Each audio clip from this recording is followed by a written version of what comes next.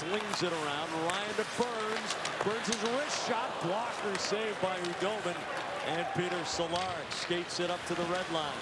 Jake DeBrusk goes through Burns. A save. The rebound scores. Cehlarik ties it for Boston.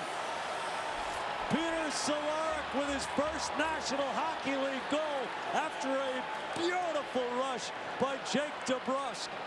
And it started back in the Boston zone. And it looked like the Bruins were maybe just going to chip this puck in in the neutral zone and maybe make a change. But Cehlarik had a different idea. A little backhand feed. DeBrusk when he's playing well. It's that straight ahead speed. It's just a little pump fake as if he's going to shoot it and then pull it right around Burns who goes for the hip check. And DeBrusk continues on his line to the net.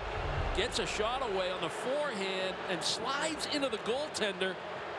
And Cehlarik just followed the puck. Go to the front of the net. Second chance opportunity on the backhand. You does he get tripped? Does he do it on his own? He seems to be clear there, but then the stick Ah. reach in from Ryan Steps on the stick. knocks DeBrusk to the ice, and there's no way he can stop and not make contact. And he tries his best to slide away from the net. After further review, there was no goaltender interference. Therefore, it is a good goal. They, are not liking Eric Furlatt right now. Shoot the messenger. Uh, just a great move by DeBrusk, one on one. Very rarely do you see a defenseman go for a hip check in open ice. Burns is right in the middle